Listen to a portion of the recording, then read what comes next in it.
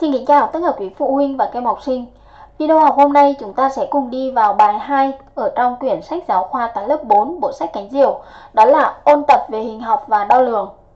Bài tập số 1, trò chơi đố bạn. Kể tên các hình mà các em đã học. Như vậy các em đã học những hình nào thì các em hãy kể tên ra. À chúng ta đã học một số các hình như sau: hình tam giác, hình tứ giác, hình chữ nhật, hình vuông, hình tròn. Đây là các hình mà các em đã học. Sang ý tiếp theo, nêu cách tính chu vi hình tam giác, hình tứ giác, hình chữ nhật và hình vuông. Vậy chúng ta sẽ có chu vi hình tam giác này thì sẽ bằng tổng ba cạnh của tam giác với điều kiện là ba cạnh cùng đơn vị đo. Tiếp theo chúng ta có chu vi hình tứ giác thì bằng tổng bốn cạnh của tứ giác là bốn cạnh này phải cùng đơn vị đo.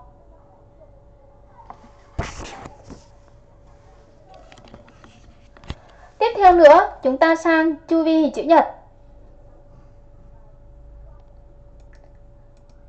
Chu vi hình chữ nhật thì các em lấy chiều dài cộng với chiều rộng trong ngoặc nhân với 2, tức là tổng số đo của chiều dài và chiều rộng nhân với 2, với điều kiện chiều dài và chiều rộng cùng đơn vị đo. Chu vi của hình vuông thì các em sẽ lấy số đo một cạnh các em nhân với 4.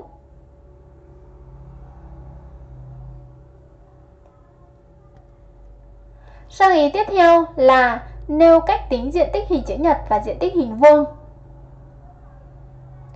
Chúng ta có diện tích hình chữ nhật, kem lấy chiều dài nhân với chiều rộng, à, với điều kiện là chiều dài và chiều rộng cùng đơn vị đo.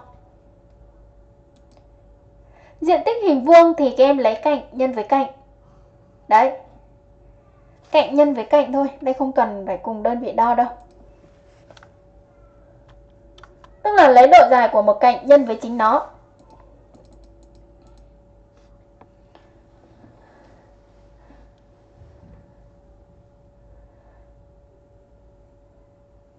Tiếp theo là kể tên các cái đơn vị đo độ dài, đo khối lượng, đo dung tích à, và đo diện tích mà các em đã học. Thế bây giờ chúng ta sẽ cùng kể tên nhé. Những ai chưa xong phần này các em có thể dừng lại để tiếp tục làm cho xong.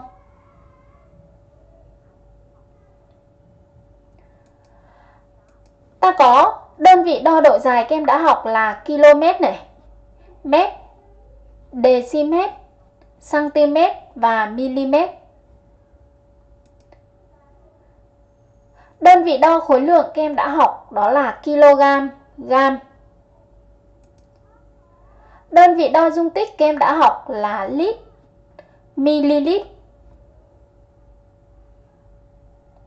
Phần ký hiệu cô có ký hiệu viết tắt đi kèm đấy để các em có thể nhớ lại. Đấy, decimet thì viết tắt là chữ D và chữ M viết bình thường. Km thì viết K bằng và chữ M viết bình thường. Ml thì viết chữ M và chữ L viết thường. Lít thì chúng ta viết bằng chữ L viết thường. Đơn vị à, diện tích mà các em đã học đó là cm vuông.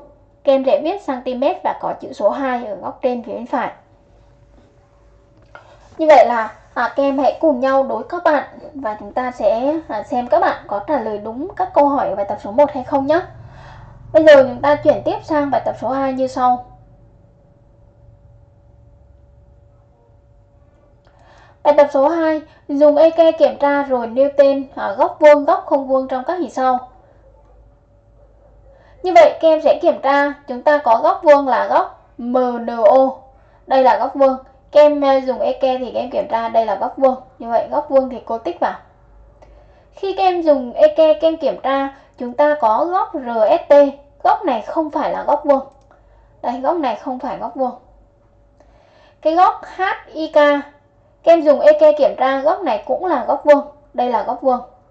Và góc ABC. Đây. Góc ABC.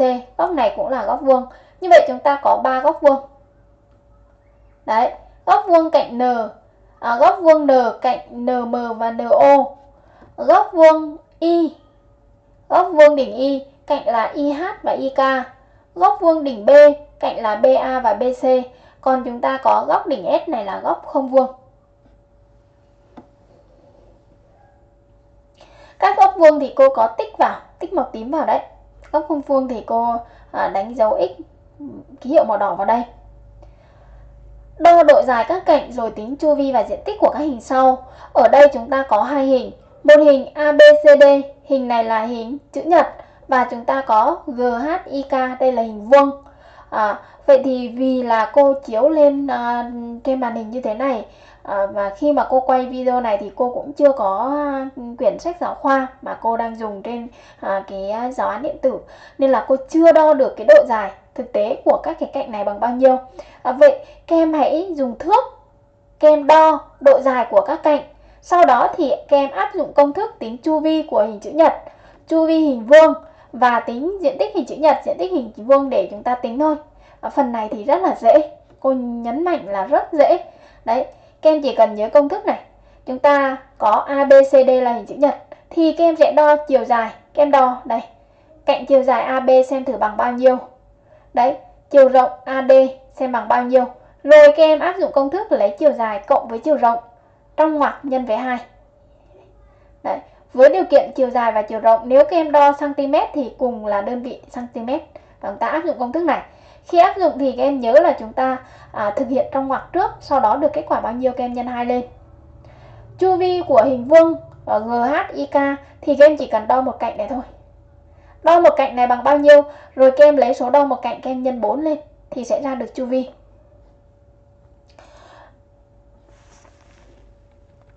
Tiếp theo là chúng ta sẽ sang à, diện tích. Diện tích cái hình chữ nhật ABCD này. Thì các em à, đo được chiều dài rồi đúng không? Lúc nãy các em đo chiều dài rồi đo chiều rộng rồi thì các em lấy chiều dài nhân chiều rộng thôi. Được kết quả bao nhiêu thì đấy chính là diện tích.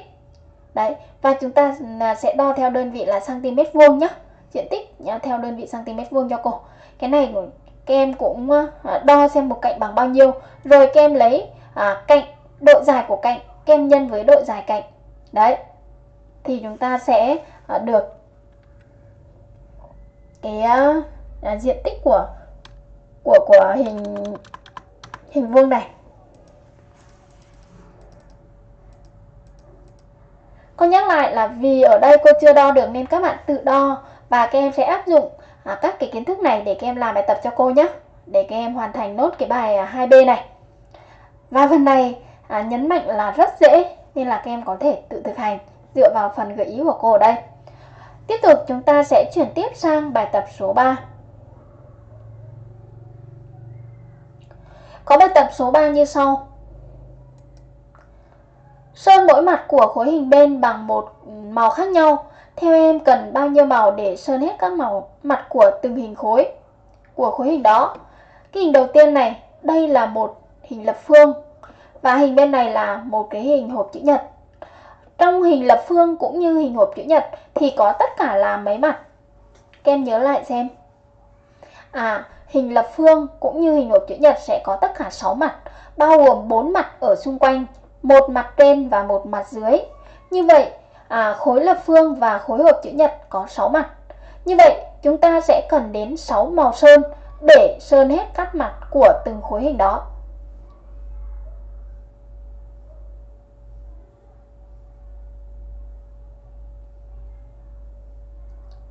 Tiếp tục, chuyển sang bài tiếp theo là bài tập số 4.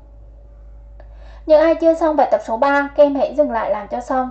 Các bạn chưa đăng ký kênh thì hãy nhấn đăng ký kênh và bấm chuông để chúng ta tiếp tục đón xem các video miễn phí trên kênh nhé. Bài tập số 4 như sau. Đọc nhiệt độ ghi trên mỗi nhiệt kế sau. Các em thấy nhiệt kế à, khi mà chúng ta đọc nhiệt độ thì các em sẽ xem à, cái vạch đỏ ở phía trong nó dâng đến cái vị trí nào thì chúng ta đọc. Đây, ở hình A cái vạch đỏ này nó đang à, dâng đến vị trí số 10.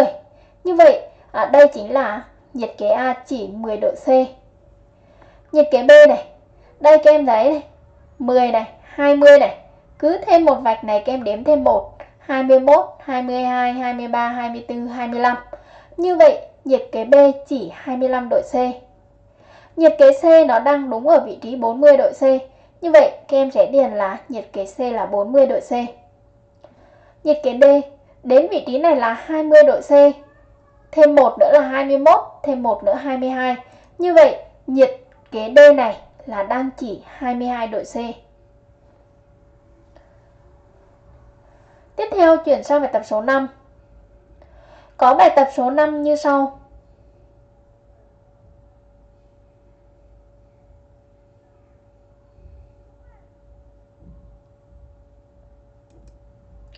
Chọn thẻ ghi cân nặng thích hợp với mỗi hình sau. Các em nhìn thấy hình thứ nhất có hoa quả sấy ở đây là 4 kg. Bên này chúng ta có hai túi, mỗi túi là 500 g. 500 cộng với 500 tức là 1000. 1000 g tức là hai túi này 1000 g tức là bằng 1 kg. 1 kg cộng thêm với 4 kg bên này nữa. Như vậy cả cái hình đầu tiên này là sẽ là 5 kg, bao gồm 4 kg này này, cộng với hai túi này 1 kg nữa thì bằng 5 kg. Vậy các em sẽ nối đến 5 kg. Tiếp theo là chúng ta có à, lạc rang, đúng không nào? Lạc rang, mỗi túi là 250 g. Ở đây chúng ta có 1, 2, 3, 4, 5, 6, 7, 8 túi. Vậy các em lấy 250 các em nhân với 8. 250 nhân với 8 thì bằng 2.000 g. 2.000 g thì chính bằng 2 kg. Như vậy các em sẽ nối đến 2 kg. Cuối cùng là hạt điều rang. Hạt điều rang ở đây có 450g cộng với 450g thì bằng 900g. 900g cộng thêm với 100g bên này nữa bằng 1000g. 1000g thì chính là bằng 1kg. Các em sẽ nối đến 1kg ở đây.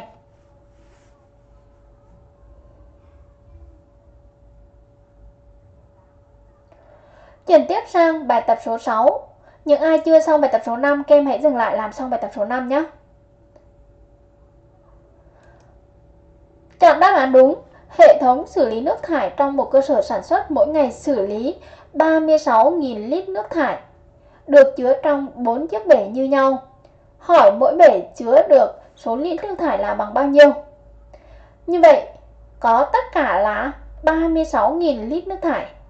Và 36.000 lít này được chứa trong 4 bể như nhau. Như vậy, mỗi bể thì các em sẽ làm phép chia, lấy 36.000 các em chia cho 4. Như vậy mỗi bể chứa số lít nước thải là lấy 36.000 chia cho 4 bằng 9.000 lít. Vậy thì các em sẽ khoanh vào đáp án đúng chính là đáp án C.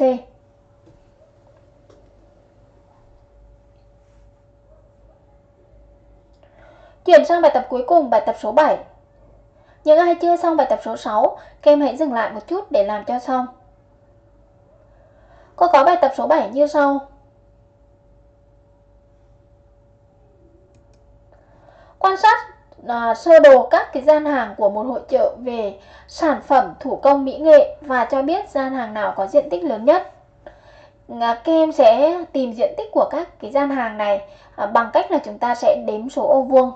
Gốm sứ này, 1, 2, 3, 4, 5, 6, 7, 8, 9, 10, 11, 12, 13, 14, 15, 16. Như vậy, gian hàng gốm sứ có diện tích là 16 ô vuông. Tiếp theo sang gian hàng sơn mài. Kem đếm 1, 2, 3, 4, 5, 6, 7, 8. Như vậy là gian hàng sơn mài có diện tích là 8 ô vuông. Tiếp theo nữa, chúng ta sẽ sang gian hàng điêu khắc. Ở đây có 1, 2, 3 này, 4, 5, 6 này. Cộng với bên này cũng 6 nữa. 6 à, ô vuông bên này cộng 6 ô vuông bên này. Như vậy là gian hàng điêu khắc thì có diện tích là 12 ô vuông. Chúng ta lấy 6 cộng 6 bằng 12. Tiếp theo là gian hàng mây tre. Mây tre bên này có 2 ô cộng với 2 ô bên này thì có tất cả là 4 ô vuông. Như vậy, mây tre có diện tích là 4 ô vuông. Và cuối cùng, các em sẽ quan sát xem thử cái gian hàng đồ gỗ có diện tích bao nhiêu. 1, 2, 3, 4, 5, 6, 7, 8, 9, 10, 11, 12. Như vậy là đồ gỗ, gian hàng đồ gỗ có diện tích 12 ô vuông. Vậy bây giờ các em sẽ so sánh diện tích thì chúng ta thấy là 16 ô vuông lớn hơn so với 12 ô vuông, lớn hơn 8 ô vuông và lớn hơn 4 ô vuông. Như vậy, cái diện tích lớn nhất đây là 16 ô vuông ứng với gian hàng gốm sứ. Vậy các em sẽ trả lời là gian hàng gốm sứ có diện tích lớn nhất. Như thế, trên đây cô và các bạn đã vừa hoàn thành xong được tiết 2, à, bài 2 à, ờ, ở trong quyển à, sách giáo khoa toán lớp 4 bộ sách cánh diều. Để tiếp tục đón xem các video miễn phí trên kênh, các bạn hãy nhớ nhấn đăng ký kênh và bấm chuông nhé.